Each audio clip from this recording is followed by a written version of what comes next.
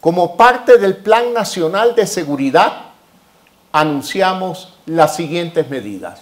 Empezando de inmediato, nuestras Fuerzas Armadas y Policiales se sentirán con fuerza en las calles, porque estamos decretando el estado de excepción en todo el territorio nacional para llevar a cabo controles de armas, inspecciones, patrullaje las 24 horas del día, requisiciones de droga, entre otras acciones.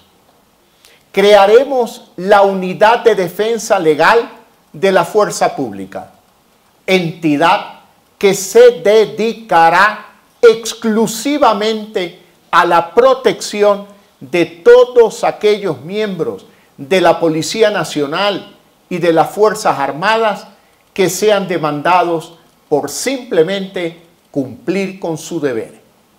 Como parte de nuestro apoyo a la fuerza pública, el Ejecutivo enviará en los próximos días un nuevo proyecto de ley dedicado exclusivamente a respaldar a nuestros agentes del orden y que llevará como nombre la Ley de Defensa del Deber de la Fuerza Pública.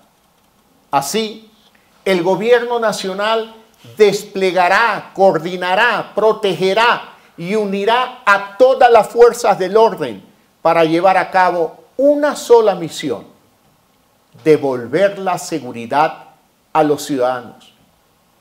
Todos los sectores sociales y políticos debemos trabajar en absoluta unidad, porque en las calles del Ecuador hay un solo enemigo, el narcotráfico.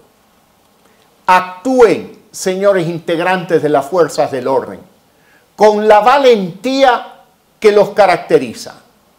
Este gobierno indultará a todos aquellos que hayan sido injustamente condenados por haber cumplido con su labor. Nuestros jueces deben garantizar la paz y el orden, no la impunidad y el crimen. No podemos olvidar que la falta de oportunidades empuja a muchas personas al consumo de las drogas. Muchos de ellos son nuestros conocidos, amigos e incluso familiares. Por ello, formaremos un comité interinstitucional entre todos los ministerios del Frente Social y la Secretaría de Derechos Humanos que producirán acciones concretas para prevenir, detener la adicción y reinsertar a consumidores en la sociedad.